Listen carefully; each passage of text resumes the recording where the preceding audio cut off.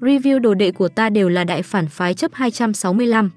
Lý Vân Triệu gật đầu trả lời nói, thứ đó là một cuốn vô tự thư, là năm đó lão tiên sinh trộm. A à không, là thứ lão tiên sinh đổi được sau khi lấy lệnh bài của hoàng thất, cụ khụ.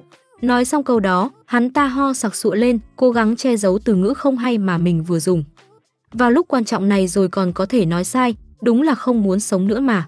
Với trình độ này, cũng xứng làm công công bên cạnh Thái hậu, không bị lôi ra ngọ môn chém đầu, đúng là ông trời không có mắt. Lưu Bình xen vào nói, ngươi bán đứng Thái hậu, quay về cũng sẽ chịu tội chết. Lý Vân Triệu lắc đầu nói, tứ điện hạ mới quay về thần đô, rất nhiều chuyện không rõ, xin hãy nghe tạp gia giải thích. Năm đó sau khi lệnh bài của hoàng thất bị mất, trên dưới đều đi tìm, chỉ có Thái hậu biết vật đó đã rơi vào trong tay người của Ma Thiên Các. Lệnh bài hoàng gia vốn do bệ hạ bảo quản, những năm đó cơ thể của bệ hạ không được tốt nên đưa cho Thái hậu bảo quản. Lệnh bài mất, Thái hậu cực kỳ lo lắng nên phái người đến Ma Thiên Các. Lục Châu nghe xong, nội tâm thầm nghĩ, sao mình không có chút ấn tượng nào thế? Dù nghĩ đến phần ký ức bị mất, vẫn là không có chút khởi sắc nào, nói nhiều sai nhiều, không nói không sai. Lão tiên sinh không giao trả lệnh bài hoàng gia, lại đưa một cuốn vô tự thiên thư, Lý Vân Triệu nói ra. Lục Châu nghe xong toàn bộ câu chuyện thì liền hiểu rồi, cuốn vô tự thiên thư này có lẽ là mảnh vỡ của cuốn thiên thư khai quyển. Lục Châu cũng lười hỏi nguyên nhân trong đó, nói ra, thiên thư đang ở đâu? Lý Vân Triệu đáp lời, đang ở trong cung. Nói đến đây, Lục Châu coi như là hiểu được, Lý Vân Triệu đây là muốn dùng vô tự thiên thư đổi lấy tu vi của hắn. Trùng hợp là, hắn sớm đã đưa lệnh bài hoàng gia cho Giang Ái Kiếm rồi, Giang Ái Kiếm dùng lệnh bài mở ra nội khố rồi, chìa khóa cũng coi là trở về với hoàng thất phảng phất trong cõi u minh tự có chú định. Chiêu Nguyệt, Lục Châu ánh mắt khép hờ gọi ra tên của nàng. Có đồ nhi, Chiêu Nguyệt vội đáp. Con là người bị hại, con quyết định vận mệnh của hắn đi, Lục Châu chậm rãi nói ra. Nếu đã biết vô tự thiên thư ở trong cung, vậy thì có rất nhiều cách để lấy về. Cũng không cần dùng Lý Vân Triệu, cho nên giao quyền quyết định cho Chiêu Nguyệt đi. Còn Lý Vân Triệu sau khi nghe xong lời này liền không dám ngẩng mặt lên, cái đầu cứ cúi xuống, chỉ lo sợ Chiêu Nguyệt sẽ nói ra muốn phế hắn vậy. Chiêu Nguyệt cung kính về phía Lục Châu nói ra, đồ của sư phụ, phải lấy về. Nói thế nào thì hắn cũng từng cứu đồ nhi một mạng, nếu hắn nói dối thì sau này giết hắn cũng không muộn. Bé Tiểu Diên Nhi đứng cạnh cũng không nhịn được bồi thêm một câu, đúng vậy. Lý Vân Triệu, ngươi nghe rõ ràng chưa? Lục Châu ánh mắt vẫn khép hờ hỏi ra. Đồng thời nội tâm của Lục Châu cũng rất cao hứng, đồ nhi này đúng là không uổng công dạy dỗ, đã biết suy nghĩ cho vi sư rồi. Tạp gia hiểu rồi, giờ này ngày mai, tạp gia sẽ mang đồ đến gặp lão tiên sinh. Lý Vân Triệu cúi dập đầu cung kính hồi đáp. Vừa đúng lúc này, trên đỉnh tháp cao của phủ vương cùng kỳ, một bóng người xuất hiện, từ trong tay hắn phóng ra một cái phi tiêu tẩm độc phát sáng, màu vàng kim bất ngờ lao tới, mục tiêu nhắm vào chính là Lý Vân Triệu. Lý Vân Triệu sắc mặt trở nên u ám, ngay khi phi tiêu chỉ cách trước mặt của Lý Vân Triệu vài cm, thì Lý Vân Triệu liền nghiêng người một cái, đồng thời dùng lấy ba đầu ngón tay tóm lại được thanh phi tiêu này. Tần Quân thấy một màn này, trong đầu liền suy nghĩ, trông có vẻ là muốn nhân lúc Lý Vân Triệu bị thương mà lấy mạng hắn. Đối phương rõ ràng là đã xem thường thủ đoạn của Lý Vân Triệu rồi.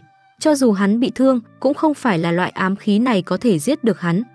Tứ hoàng tử Lưu Bình trao mày, nói ra, Lý Vân Triệu, xem ra ngươi cũng không phải hoàn toàn được tín nhiệm.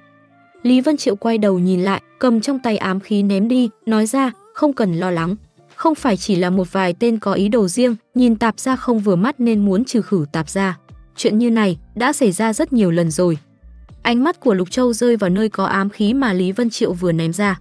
Có thể phát huy uy lực của ám khí đến mức độ này, chắc chắn không phải là cao thủ tu hành bình thường. Thần đô của đại viêm quả nhiên là ngọa hổ tàng long. Lưu Bình tâm lý tố chất viễn siêu thường nhân, cũng chỉ là nhìn thoáng qua, nở một nụ cười nói, thích khách sao? Ít nhất cũng là tu vi nhất diệp, thú vị rồi đây. Lý Vân Triệu tiếp tục nói ra, cái mạng này của tạp gia cũng không đáng tiền. Nếu Thái Hậu không tin tưởng tạp gia, thì tạp gia sớm đã chết rồi, sao có thể sống tới bây giờ chứ? Đám tiểu nhân này quả nhiên là đáng ghét. Lục Châu vẻ mặt nghiêm túc, mở miệng nói ra, Diên Nhi. Có đồ nhi, tiểu Diên Nhi lớn tiếng trả lời. Đi bắt chúng, Lục Châu nhàn nhạt, nhạt nói ra. Hi hi, đồ nhi tuân lệnh, tiểu Diên Nhi lần thứ nhất tiếp đến mệnh lệnh như vậy, liền cao hứng dị thường. Lục Châu giao nhiệm vụ này cho Tiểu Diên Nhi là vì Tiểu Diên Nhi rất giỏi đối phó với loại chuột này. Ngoài ra, nàng còn sở hữu vô số bảo vật quý giá. Thậm chí, tu vi chỉ là nhất diệp cũng đủ để gây xôn xao và thu hút sự chú ý của mọi người. Tiểu Diên Nhi bật người lên, lao thẳng về phía Kỳ Vương phủ. Phạm Thiên Lăng bung nở, tựa như một bông hoa hồng đang hé mở. Trong khi thi triển bộ pháp thất tinh thải vân, đôi giày đạp vân hoa tỏa ra ánh sáng xanh lam, hướng về phía người tên sát thủ tung ra một cước. Lý Vân Triệu kinh ngạc nuốt nước miếng, cả người toàn bảo vật, thiên phú này. Cho dù biết tiểu nha đầu này khá yếu ớt, nhưng lại sinh ra một cảm giác vô lực này. Tần Quân và Hồng Phúc sống ở thần đô lâu, cũng đã gặp không ít cao thủ, nhưng chưa từng thấy thiên tài như này.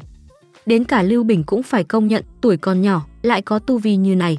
Sau này, thành tựu nha đầu này sẽ cao đến mức nào đây, khó mà đoán được.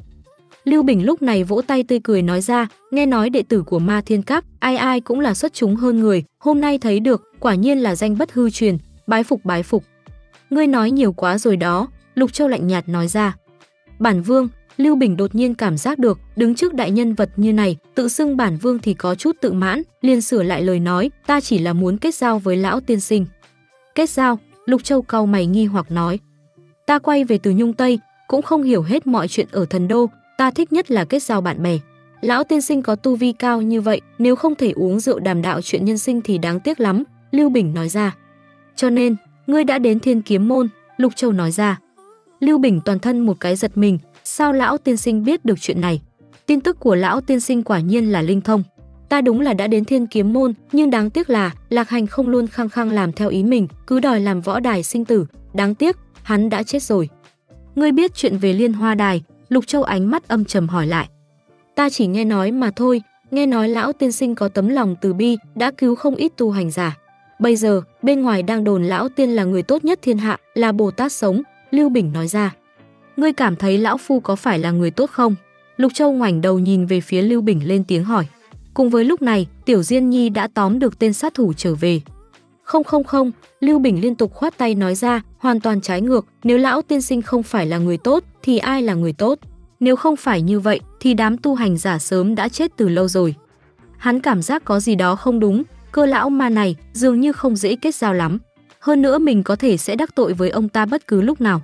Suýt nữa là nói thành là ông luôn ép những tu hành giả đó nói những lời hoa mỹ này.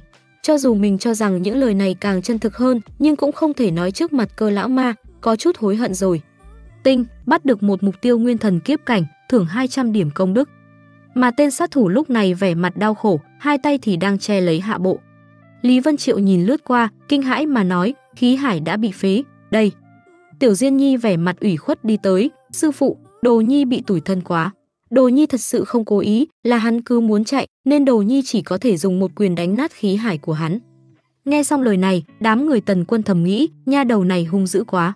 Dùng ngữ điệu sợ sệt mà nói ra câu khiến người ta nổi hết da gà. Đây là đệ tử nhỏ nhất của ma thiên các sao, phải thừa nhận. Bọn hắn phải nhìn ma thiên các bằng con mắt khác, nhìn lại những hiểu lầm về ma thiên các. Nhìn Tiểu Diên Nhi đang bức cung tên sát thủ, Triệu Công Công thầm nghĩ, cho dù cơ lão ma thật sự ngã xuống, thì đám đồ đệ này cũng đã trưởng thành rồi. Ai dám bảo đảm chín đệ tử này không phải là cơ thiên ma thứ hai, thứ ba, thậm chí là thứ 9. Tần quân lúc này lộ ra vẻ mặt ngươi làm rất chuẩn, nhìn về phía Lục Châu nói ra, trái lại ta cảm thấy cửu tiên sinh xử lý rất tốt. Đừng quên, đám tiểu nhân này rất xảo quyệt, chỉ có làm như mới không để lại tổn thất gì. Lục Châu hài lòng gật đầu, rất tốt, đồ nhi có chỗ tiến bộ, đây là chuyện tốt. Được sư phụ khen, Tiểu Diên Nhi hì hì cười một tiếng, tâm hoa nộ phóng, Chiêu Nguyệt đứng cạnh cũng vui theo, cảm ơn sư phụ đã khen, Đồ Nhi nhất định sẽ cố gắng. Cảnh tượng này có gì đó sai sai, Lý Vân Triệu cùng tứ hoàng tử điện hạ Lưu Bình trầm mặc. Tiểu Diên Nhi đi đến bên cạnh tên sát thủ, chống lạnh nói, nói là ai sai kiến ngươi. Nếu ngươi không nói, thì ta sẽ mang ngươi về ma thiên các, để tam sư huynh của ta, à không, để tứ sư huynh của ta trừng trị ngươi, tứ sư huynh của ta có nhiều thủ đoạn hành hạ người khác lắm. Tên sát thủ không có nói gì mà từ đâu đó lấy ra một cái kẹo độc. Nhét nó vào trong miệng, tên sát thủ cắn một cái liền nuốt xuống. Sau đó nói xuống một câu cuối cùng, ta chết rồi. Tiểu Diên Nhi, Lục Châu, Chiêu Nguyệt vẻ mặt mộng bức, cái quái gì vậy? Trên đầu của ba người lúc này hiện ba cái dấu chấm. Tập phim hôm nay kết thúc tại đây, mọi người nhớ theo dõi kênh để đón đọc tập tiếp theo nhé. Nền tảng này hoặc đỗ nết nha mọi người. Chúc mọi người xem phim vui vẻ, đăng ký kênh và nhấn thông báo để nhận thông báo chuyện ra sớm nhất.